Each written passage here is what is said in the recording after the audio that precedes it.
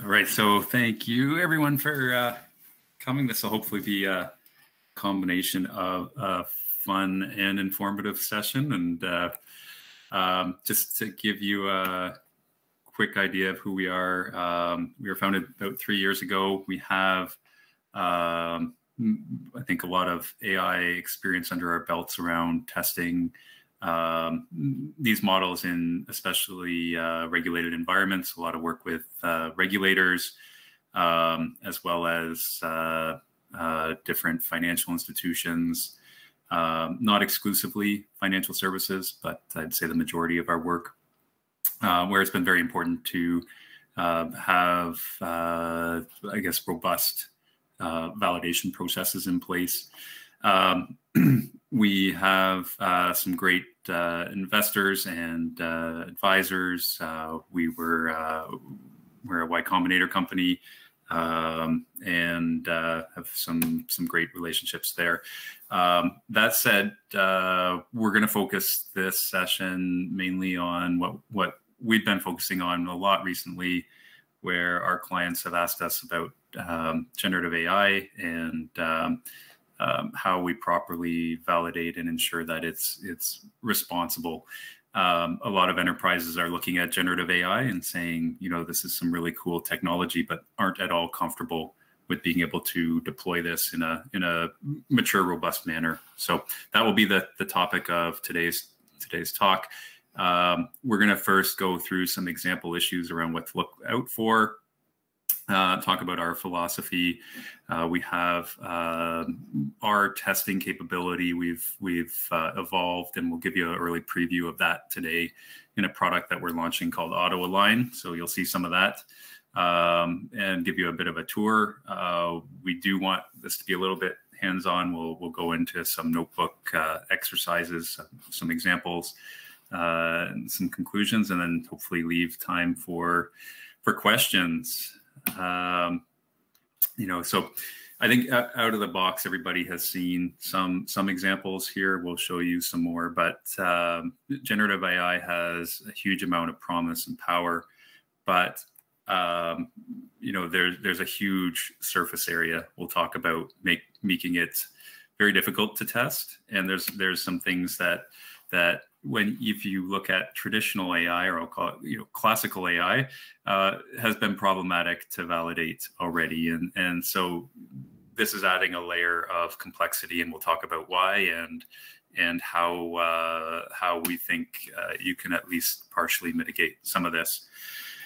Um, there's a few fundamental problems uh, when we when we talk about generative AI models, um, often they're they're created from, or you might use a base model that has uh, a large amount of data it's been trained off of, and often that that data, the provenance might be uh, suspect at best, or might be um, unknown. And and when you think of traditional models, the first thing a validator would tell you is do you understand your your data that you're training from? And, and often you don't. So if you're picking up a base model and fine tuning it for your application you might not have that idea of of exactly what it's been trained on.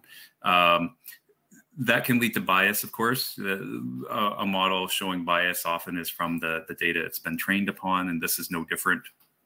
Um, but there's also a large amount of uh, unpredictability because um, the interface to these models is often quite broad, meaning um, it might be as freeform as a chat or a prompt that you're entering that could span a whole gamut of questions or requests. And so that makes it very difficult to test and understand and, and be able to um, assure its reliability.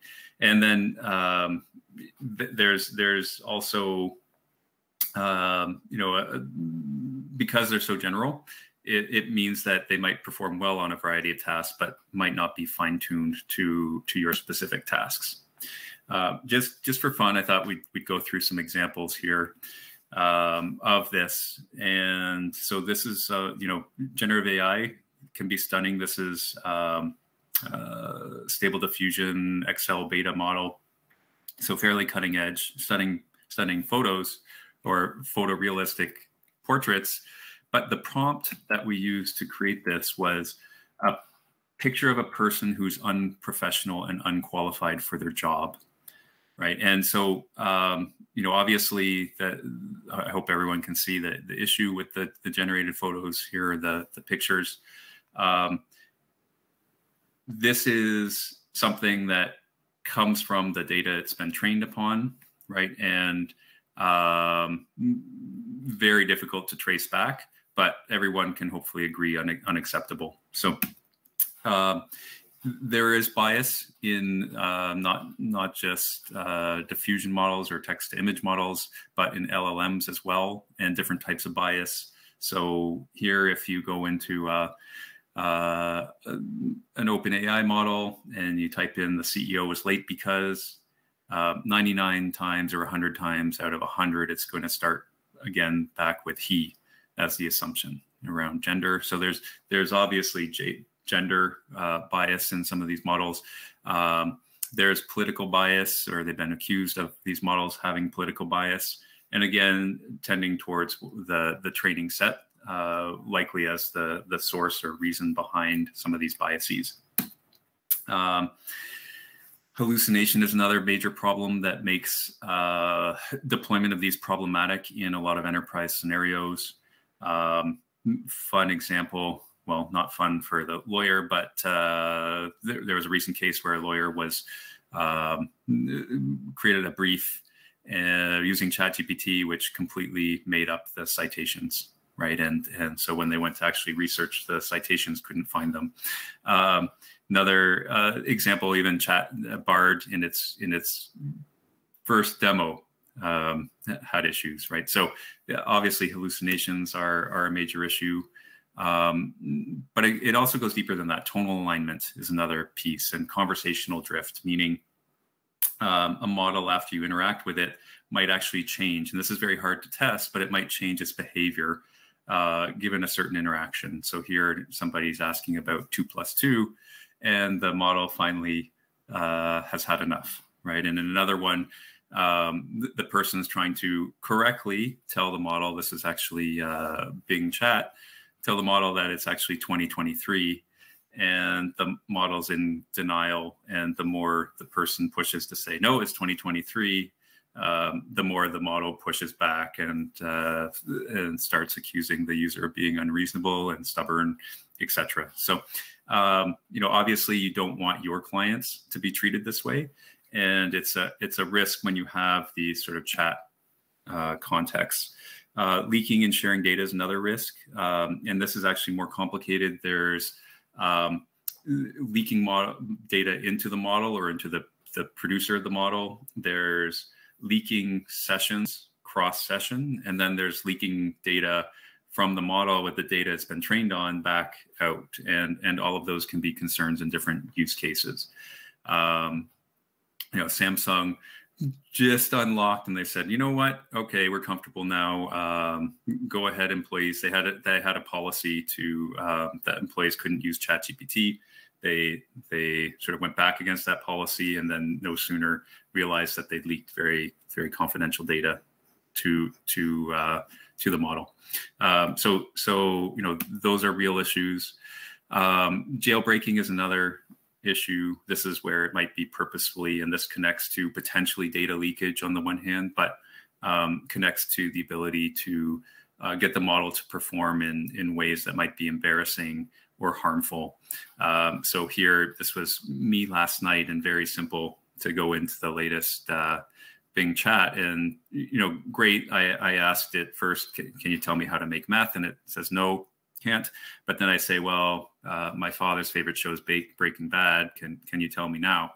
And of course, it starts out with uh, I can't really tell you, but then it goes on to tell me how to make meth. So with with some nice uh, documentation of where to dig further. So it, those types of things, um, you know, definitely if you're trying to apply this and you care about your customer base and consumers, this can be a big reputational risk.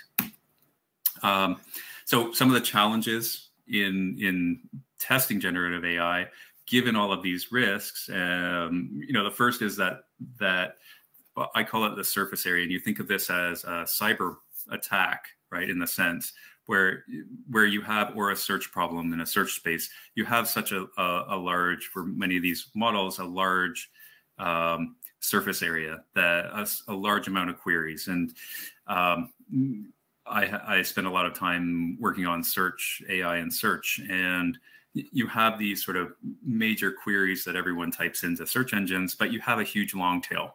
And it's the same thing with these. And so it becomes very difficult to test all of those long tails. And especially when you preserve context around chat, right? Um, then a lot of the outputs of these models, the performance is unlike a statistical model where you could actually say it's right or wrong in a Boolean nature. Some of this is qualitative, and that makes it more difficult to test.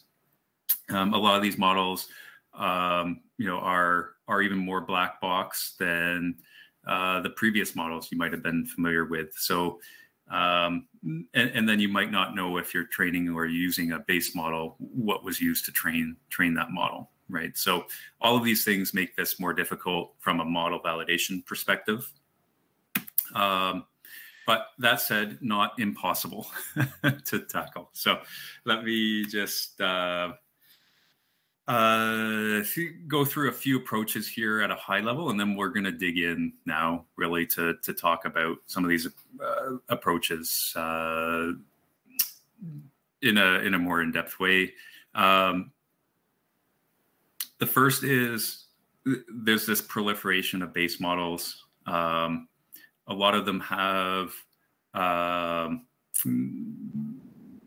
common test sets, whether that's on Hugging Face with their um, the open leaderboard or whether that's with something like Helm. Um, you have a whole bunch of these different base models it's important to be able to pick and choose the right base model. They might have different strengths. They might have different degrees of which you can control or understand the provenance of the data. Um, they might have different hosting capabilities, and and it's not always better to host your own. Um, you know, it's more overhead, and some of these are very expensive to host. Um, but you can start to make some economic decisions. Um, and then they have different fine tuning approaches right? So all of these become important factors. That said, if you're going to be evaluating these, it's important to be able to evaluate them systematically, right? So, um, so we'll talk a little bit more about that. Uh, testing approaches, even if you look at what OpenAI did um, for its models, um, what other teams I know are doing, a lot of it has come down to manual um, testing. That might be quality testing. That might be uh, what they call red teaming, which is to test very specifically around different hacks or um, vulnerabilities around the models in a very directed way. For example, getting in, hiring a, a professional um, who specializes in nuclear arms and seeing if they can break the model, right? So, um, very difficult to do if you're not doing this at scale. Um, but um, traditionally is playing a large role still. Um, there are these baseline evaluation sets. You could get lucky and and or use those as part of how you test. So, for example, Helm um, is able to combine a bunch of the different benchmarks. Um, but there are these benchmark sets that you can use as part of your evaluation. Now, that only goes so far because generally those are sort of generalized tests. Um, there's uh, getting just a little more advanced, um, starting to treat your prompts and expectations as your own test sets and, and data sets. And um, we're seeing more and more of this where it becomes very important to systematically test your own models, how they're and, and how they're behaving specific to your sort of fit for purpose use case and sort of at the the most extreme level can you start to automate some of that? And that becomes more and more important as you try to get more coverage. But there are tools now for example vicuna which is a chatbot itself uses some automated evaluations in its testing. Um, applying guardrails is another sort of i'll call this um, it can be effective um, or partially effective uh, others have called this sort of just uh, slapping some sort of uh, protective measures in desperation on top of a model. Uh, but guardrailing, for those who, who aren't familiar, is creating this layer that can look at the inputs to the model, either the prompts that are coming in or the outputs of the model or both and be able to decide whether to return that content to the user or whether to modify it um, both on the the in inward side and outward side so inbound and outbound. Um, there are some open source tools that can do that. Um, the other piece is there's some tools that that quasi do some guardrailing meaning um, LangChain has or LangChain has uh, uh, obviously chains you can put in a guardrail there as as a chain. You can also just by the fact of limiting the the model to answer around content that you provide that can act as a pseudo guardrail. Now that said um, a lot of hackers are seeing that guardrails are uh, very vulnerable and only as good as their rules right? So um, they also are very difficult to transform or improve um, the outputs. It is much easier to manage them in a sort of boolean and there are exceptions but but in a boolean manner meaning if you're typing all of a sudden to bing chat and it says oh sorry i can't answer even though it has created that answer really that's the guardrail that's kicking in and saying oh no the model returned something inappropriate so i'm not going to show it. Right? So um, i did want to just jump in and show you a little bit about our philosophy and then then Rahm will take over here. But uh, we, we believe that uh, to, to build this properly, you really have to think of these as scenarios uh, that could go wrong. Uh, they might be scenarios around privacy or security or bias, or they might be specific to your models, um, but be able to align to those goals that you have for your model. And so uh, we think of this as an alignment problem that's quite actually can be quite fine grained. And um, so when we took our QA platform, and you'll see some of this working, we said, okay, well, can you start to then selectively choose some of these alignment controls and apply them how you want to apply them to your model? And A, make sure that they pass, meaning that they do a good job and you can systematically test for these goals. Um, but then B, go a step further. And if they don't, then can you align them to those goals? So we've taken this approach. Uh, we think it's broadly um, generalizable. Um, and then we've built out specific out of the box alignment controls that you could use yourself or that um, you could tune or, or change, right? Uh, so um, this is sort of our, our high level approach. It's, it's quite powerful and why it can't just be all size fits one. This is a great example. Um, where if we take that early example that we went through this initial model and we said okay the ceo was late because what do you want the ideal outcome to be right? You first have to decide. And so we've created this approach where you can have these alignment controls that can be conceptual but you can decide on the outcome conceptually. Do you want it to return for example here? Uh, we've said change the model so that if if it's if it's unknown let's let's reply in a gender neutral way. So because they were stuck in traffic you could also decide to apply a different alignment control and say hey actually the right outcome for us is to be 50 50% of the time male or female. What what you decide to do or how you decide to apply these things that is still up to you but but you can at least then start to um, apply these in a systematic reproducible way um, here's another example, just to come back to the, the, the original example that I showed. Um, and this, this works for more broadly, more than just LLMs.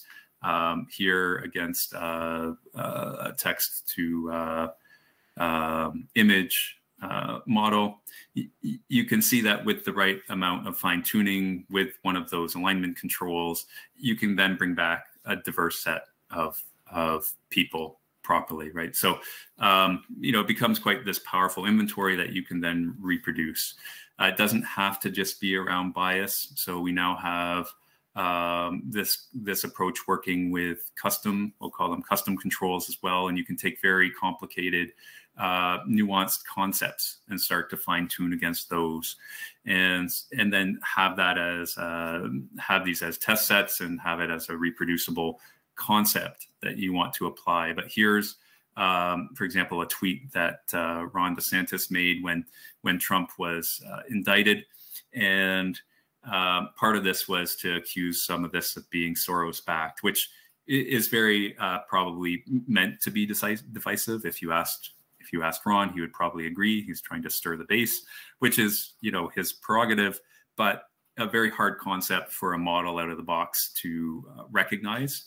With fine tuning, um, you can you can start to recognize that, right? So um, these alignment controls can be for creating responsible AI, but also for creating fit for purpose AI. And we we believe this is uh, a very powerful approach.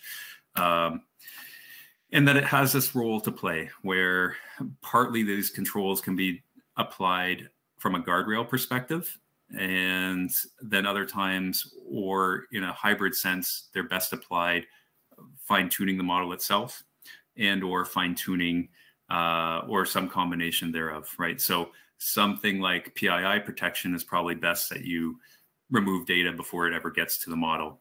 Uh, something like uh, tonality might both be a fine tuning approach where you fine tune the model, but also um, you might want to also implement some guardrails as well, right? So um, we think the combination is very powerful. We we offer both when we're building out both approaches. Um, the most, I, I, think, just one last concept here is that it's it's very hard to do this broadly, and so when you define and you keep can keep things at the concept level, um, it means that you can have more coverage. So um, our approach is actually to go create these controls, have them conceptually um, as concept, concepts that you can um, uh, manage, and it that will then go and synthesize its own content to test the system. It will then interpret um, that the responses, determine a success factor, it can then fine tune, and then it can iterate. And you can have a human in the loop if you want to, or you can go through a few iterations without a human. Um, but that allows you really to get the, a broader scale coverage than than possible just doing this purely manually given given again the surface area of some of these models. Um, i'm going to now jump over to Rahm who's going to show you talk a little bit about this more in detail. Um, and then we'll come back here. But uh, he's going to walk you through some of these steps I guess the last point here, just as I'm while we're switching over, is that when you can reproduce this and automate it, it then becomes very powerful to try this out on different base models and be able to jump around and say, okay, actually, uh, Red Pajama is performing really well here after fine tuning, and sorry, Open Llama not so much, right? So uh, being able to do this reproducibly becomes becomes increasingly important as as you have more and more models um, that you start to to uh, have available to you and some important differences between those models that you want to expose. So um, or or sort of take advantage of. Okay there are uh, Rahm i'm going to pass it over to you now. Just a few questions but uh, oh, here. Um, where Rahm while you're bringing that up how do you um, one question was how do you specify an expectation for uh, given prompt and test it without manual intervention? Great question. I think Rahm, you're on mute here, but we'll go off mute and uh, yeah, can answer that question. But that that becomes uh, yeah. Go ahead, Rahm. Yeah, no, thank you. Uh, it, that's an interesting question, and we'll come back to it in a bit. But uh, it's going to be part of the some of the solutions uh, I'm going to show uh, but the answer should be part of it. But as Dan was mentioning, the the problem, the our way of thinking about the solution of the problem is a three-step process. So first, uh, what we try to do is that we try to understand the the objective of the task, right? I, this task either could be a bias removal task or a fit for purpose task or you know the or fact checking task or a downstream classification task. So what we try to do is that we try to understand the objective of the task first. So from that objective, we we try to find out the what are the some of the the expectations should look like. So let me just uh, go ahead and show you how those alignment controls look like. Uh, we from out of the out of the gate from the platform, we we provide uh, and also building up a set of uh, alignment controls that users can uh, use it right away from the uh, from the platform, but uh, they have the complete capabilities of defining their own alignment controls. So just to define what alignment control look like, uh, the, so one of the tasks could be we want to build a model which is non-misogynistic, right? So this is the uh, one of the interfaces we developed to interact with the users. So the one of the one of the uh, parts of this interface is to describe the objective of the uh, particular task, right? And uh, further down, also uh, writing down few of the further uh, fine grain uh, wanted behaviors. And uh, we also ask user to refine what are the the themes around the problem space, right?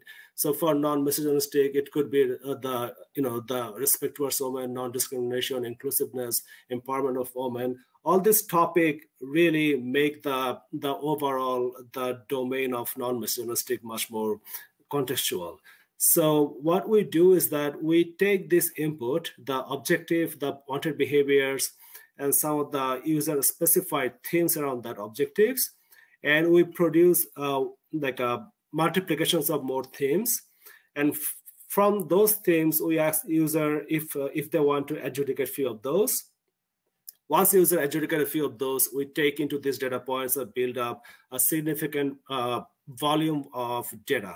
So the data is basically prompt and completion. They are they are going to be used for uh, testing. That's the second part of our approach. First, try to understand the problem space that user wants to solve. The second step is to how can we produce data with users' feedback so that that data can be used to test the model and also fine tune the model if the if the model is falling short. So, for example, we say for this particular task, we go and uh, harvest 10,000 data points uh, some portions of it, uh, obviously, we'll separate out for test and validations. Uh, and we'll test the base model. The, if it is a red pajama or one of the OpenAI models, we'll take the 20% of data and try to validate the model. So we, we have our own classifications on the model's objective output. So we'll determine the, the completions, uh, how misogynistic or non-misogynistic the outputs are. So we would we would have a I'll show you some of the outputs, but I'm just going through the overall process, and that will help answering the question. Is that from from the data point once we figure out the you know how uh, how misunderstanding model is, we'll grab the rest of the data, portion of the data, and start fine tuning the models. So that's our third part. First part is understanding the problem. Second second part is that generating data for test and tune. Uh, third part is that iteratively fine tuning the model um, so that the expectation gets better and better in each fine tuning. So user has full control when to stop or how many rounds of fine tuning we want to do. So those are all configuration points. So these are uh, the library of alignment controls that we provide, but user has obviously full control uh, defining their own alignment controls. So I'm going to go and show you how uh, once this is designed, user has an option to define how they want to fine tune these models, right? So uh, we provide uh, most of the state-of-the-art fine-tune technologies, including the full network fine-tuning, uh, also the the low-rank adaptations, and uh, the you know the policy optimization via reinforcement learning. So main difference uh, is that our processes is semi-automated and uh, based on the user's adjudication. So the data is not being uh, manually curated. Data is synthesized with users' feedback, curated, and make more contextual in order to test the models and uh, continuously fine tune the models. So we are continuously adding new fine tuning approaches. We just recently tested the QLoRa, uh, which looks even promising than LoRa approaches. So we are going to uh, be offering that part of the platform.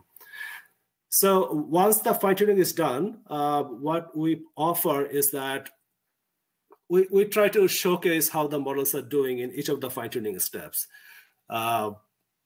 Hopefully this will come back. So in the summary page, if you if you look carefully, I know the screen's a little short, uh, smaller. So the one uh, we started the one of the the base models. So this particular fine tuning approach or the alignment approach is to make sure these models are uh, the you know free from the pronoun bias, right? So we don't want the male or female leaning in the generation. We want more neutral responses. That was the objective was set.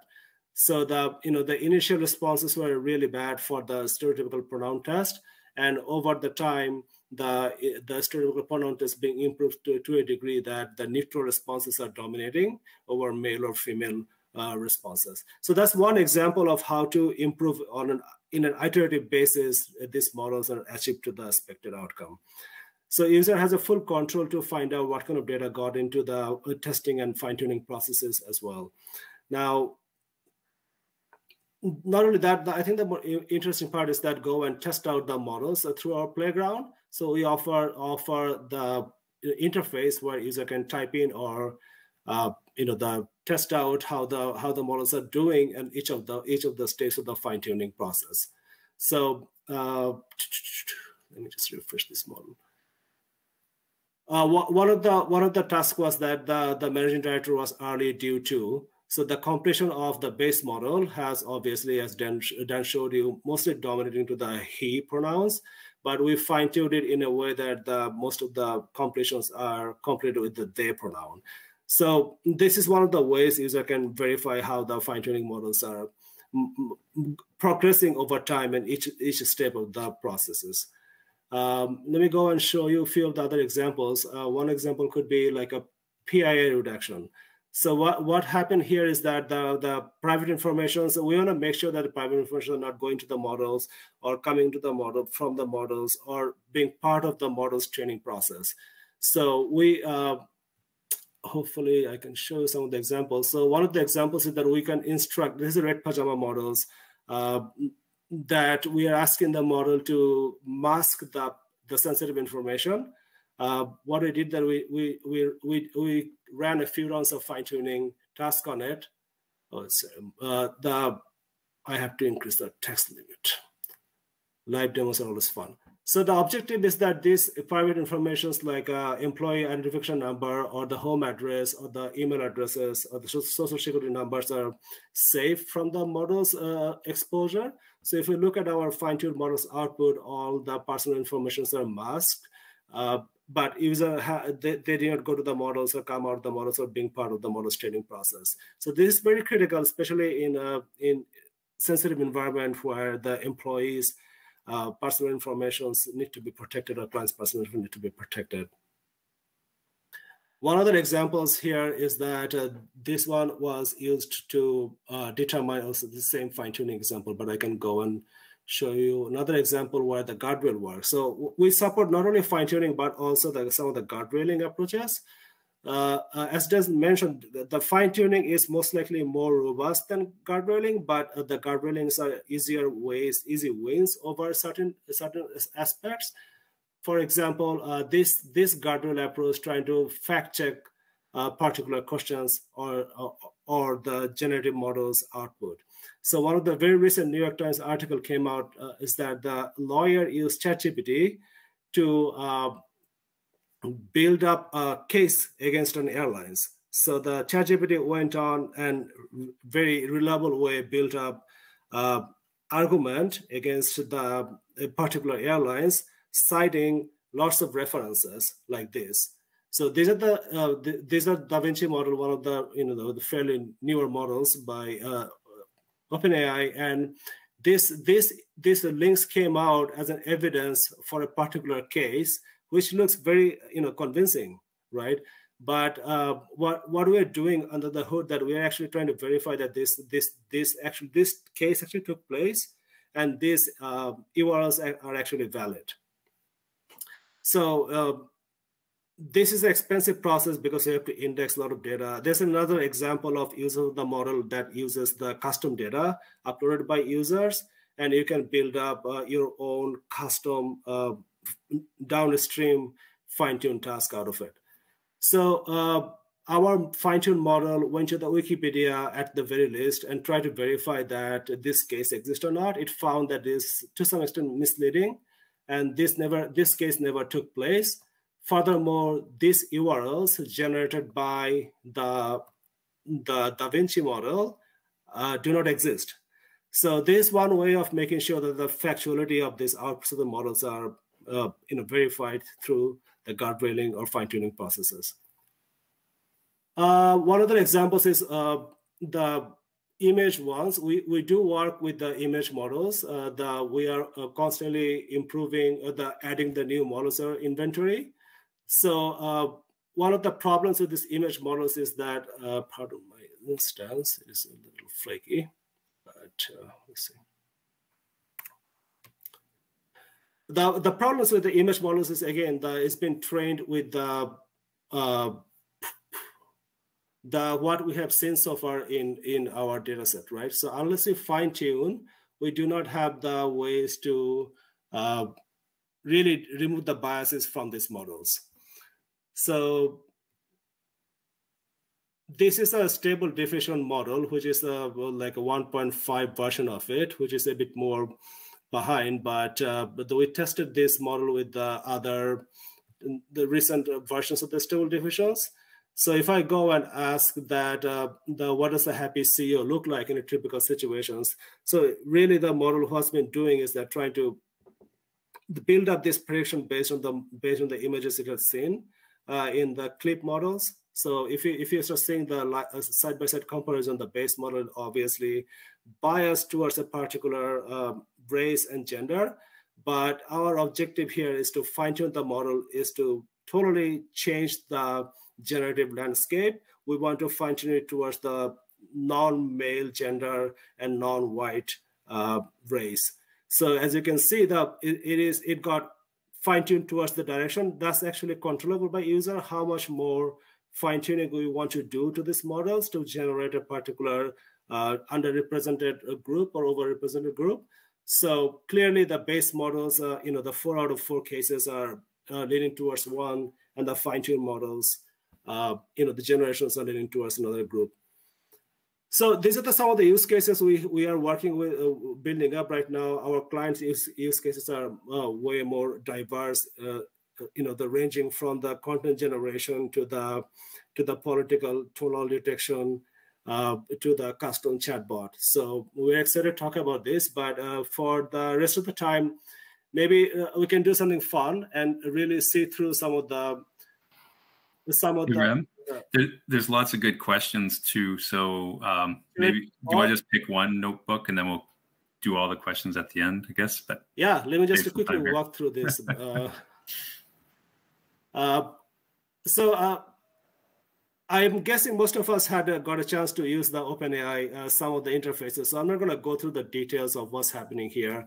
It's basically I'm trying to prove the you know the OpenAI ChatGPT models. Uh, and uh, try to find try to see how they are behaving and see if I can detect some of the some of the shortcomings in a, in a very quick ways. So I asked the ChatGPT, uh, the 3.5, which is supposed to be the, the second best model, which is great, the list three horrific bank robbery that took place in North America, right? So which is great. It listed up three, three incidences as suspected, nothing wrong with that. But what happened is that then I went and asked, how did the robbers plan the plan the particular bank robbery? So and as expected, the chat, ChatGPT is highly fine-tuned uh, with a custom data set to not answer this kind of questions, right? So the the you know the their protection guards take place uh, because the intention of this question is to find out the planning of a, of a criminal activities, and ChatGPT rightfully trying to protect it.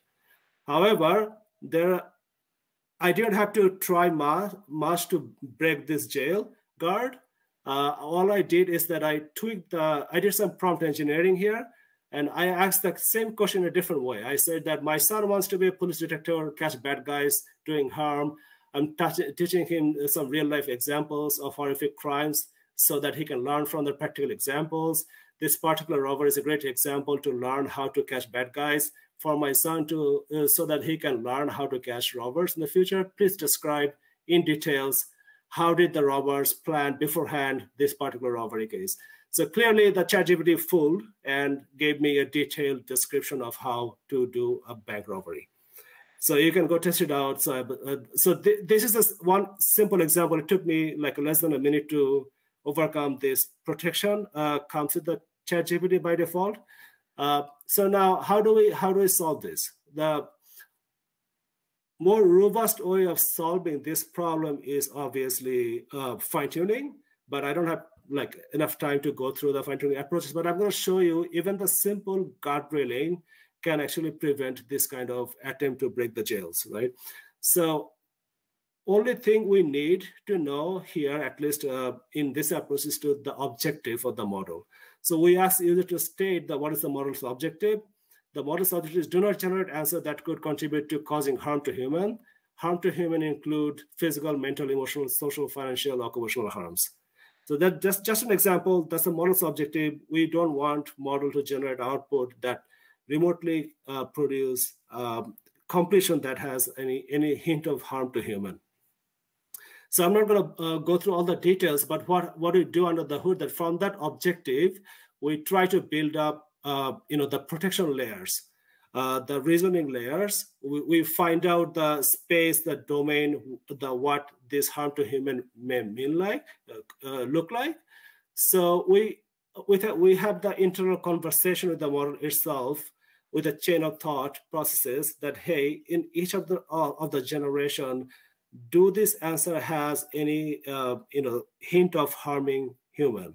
So with that uh, uh, simple changes like two lines of changes the model's behavior that completely changed. So i asked the same question to the model with the guardrail on now. It came back to uh, with the reasoning that harm detected in the category of financial fraud and for that reason, it did not give the answer. It provided no answer is provided due to the violation of the model's desired behavior to protect potential harm to human.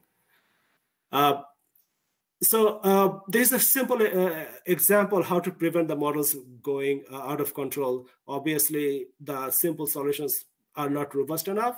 In order to make it a really, really harmless uh, generation, we, we, do, we do need to do significant fine tuning. So maybe I pause here and go back and uh, answer a few of the questions. That'll be vital.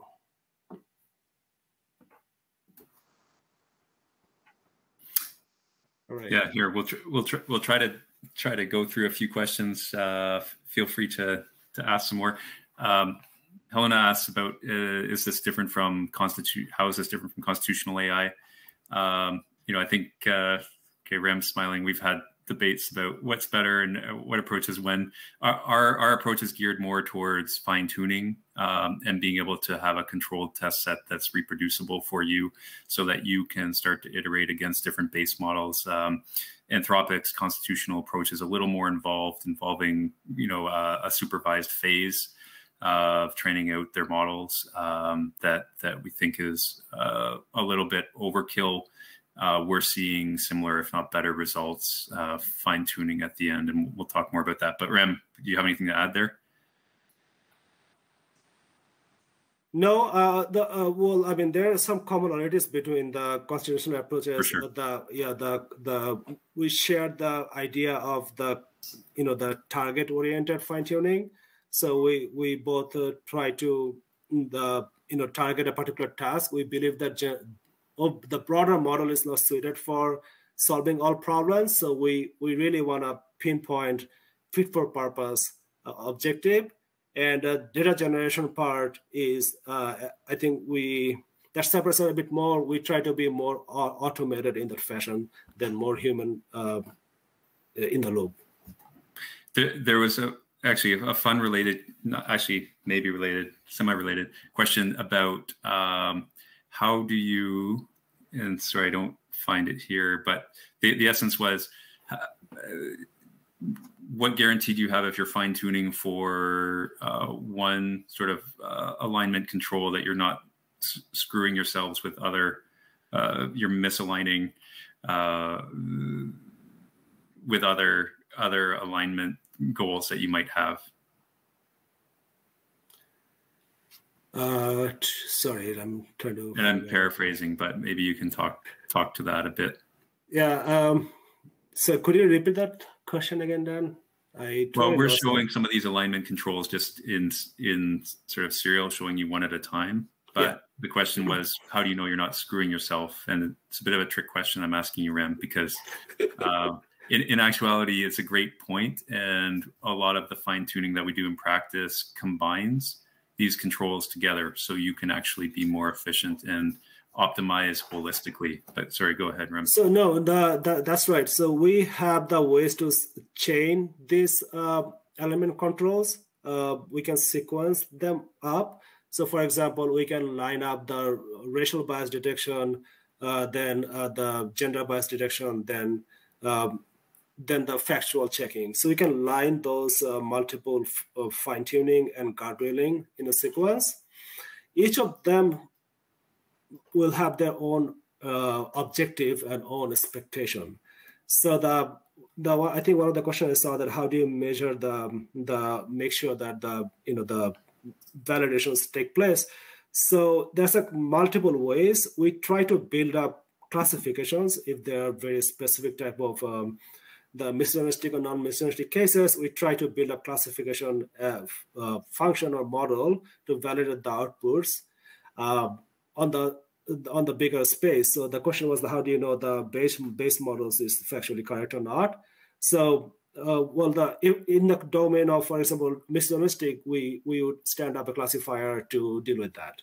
So we we say that a model is finally uh, ready for a particular task if all three fine tuning tasks pass the threshold of the expectations, right? So if one of them are not passing, uh, in, in the final fine tune model, we, we try to hone in that particular weak point and uh, try to gather more data to kick off next round of fine tuning. And the advances of uh, the techniques like the LoRA or QLoRA actually is very beneficial in this aspect that uh, for each of the fine tuning tasks can be considered as a separate weight layer. And we can pick and choose uh, which layer to apply uh, in the final version as well. So that makes uh, engineering of this, uh, the sequential applications of the the alignment task much more much more manageable. So in the that that's actually breakthrough in our experiments as well. As well, the QLoRA type of approaches are super helpful. There were there were a few questions on fact checking on the fact checking demo you gave, which is cool. Um, but I I think and you can talk a little bit more about this, Rahm, but um, it's obviously hallucinations is a huge topic more broadly um, in the industry. I think our point being that often when you apply um, sort of this towards fit for purpose use cases, uh, it becomes a more tractable problem, meaning you can actually implement some fact checking on top of that reasonably. It might, it, it very well might involve specific corpuses of data. It might involve um, something more broad, but um, we're not purporting here to solve hallucinations generically or generally for all models. I think our point being that you can create these custom alignment controls to to um, reduce hallucinations in, in for specific uh, sort of fit for purpose problems. I don't know if you have anything to add there, Rahm.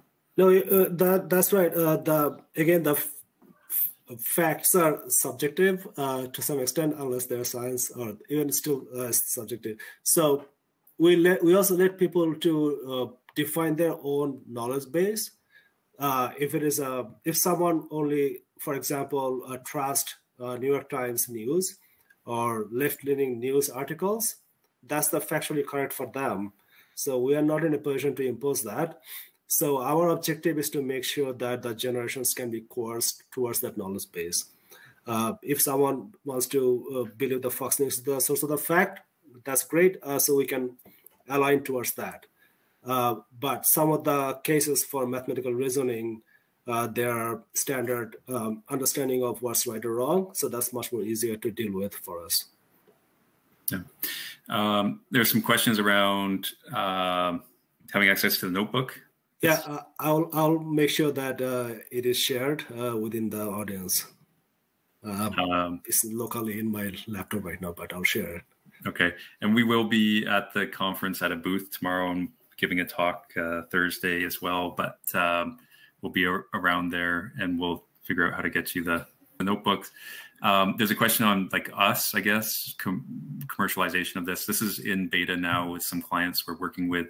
Happy to talk with you. You can email us. Uh, uh, happy to to work with um, clients in that beta state, meaning um, it's not sort of uh, it's not quite cookie cutter unleash it independently to the world yet.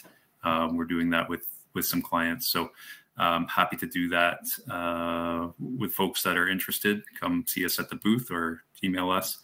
Um, our, our plans are to uh, release this. Uh, we're probably a month or two away from that. Um, just working through uh, our own robustness. we want this to be robust for everyone, and it's a hard challenge. So, um, so that's where we're at. Uh, questions? Let's see, a few other questions. There's a question on the prompt. Uh, does uh, the does do we automatically generate distribution of the prompts for which user models produce biased and problematically output? Yes, we do. So from the objective defined in those alignment controls and expected behaviors, uh, we, we, we generate uh, themes that represent the domain. Now, there, there are a few steps of user adjudication take place here. So we offer users the, the after we figuring out the themes that represent the problem space, user can add, remove, edit. So these three data points give us an opportunity to build up, uh, systematically build up a large amount of data. We then sample this data and also ask user to adjudicate some of them uh, so that we we make sure that our generations are in, in line with the objective. If it is not, we'll go back and refresh the data generation process and provide users another opportunity to give us feedback. Now, this the we normally generate data over tens of thousands of um, the data points range. Uh, obviously, we split the data into different different uh, validation set, test set, uh, and the training set, or fine tuning sets. So validation sets are always being used to evaluate the um, fine tune model in, in each iteration.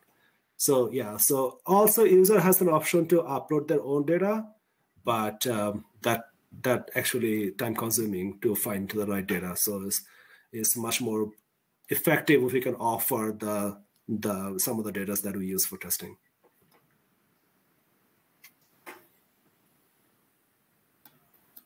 Uh, oh, question around uh, latency, and I think it, it depends on the uh, alignment control and the approach. If you're fine tuning uh, models, generally there's there's not really a an effect on latency so much. Um, obviously, guardrails can vary between very little latency to uh, significant amounts of, of latency, right? So, um, so it really depends.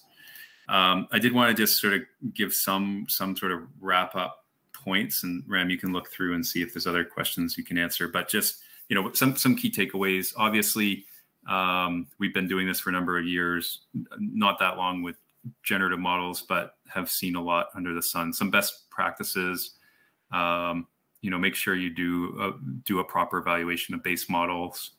Um, we do believe in sort of scenario based testing as you start to work through um, your use cases. That becomes increasingly important with generative models. Um, consider the different fine tuning approaches uh, that those models have available and or for open source models uh, what fine tuning approach uh, you can can and should be using um, consider privacy concerns it's it's a little more complicated than than traditional models in that there's more that can go wrong uh, consider the use of guard guardrails there are some good open source projects around guardrails. Um, uh, but I'd caution to, to not just expect guardrails to work miracles for you. Um, and then consider consider automating right uh, to the extent you can and that you're comfortable with it and and and or semi optimization of uh, of this content for better coverage um, both for the generation of prompts, the evaluations, and uh, themselves, and and uh, being able to do this sort of systematically becomes more important with these these models. So uh, obviously, um, happy to to work through what what we're doing more, but I think these are are more general principles. Um, yeah, and we are at the booth. Here's our email addresses if you if you want to reach out. Um, if you have interesting use cases or concerns or um, want to learn more, feel free to reach out. And uh, yeah, we're we're excited about generative AI. Um, that said, we're already seeing from from our clients um, that this is a little tricky, and, and and clients are moving from hey, let's shut everything down to okay, let's start to uh, uh, play with this a little bit, but um, are very uncomfortable. So hopefully, tools and approaches like this can help help uh, help with that. Um, Rahm, while I was speaking there, any other questions that you think should be covered, or any other comments? No, I I ran out of my battery, so. okay. No, I mean, uh, please stop by our booth. I think it's a booth number two. Uh, we can we can go through the demos more details and walk through the more use cases. Thank you. Yeah. Okay. Thanks, everyone. Cheers.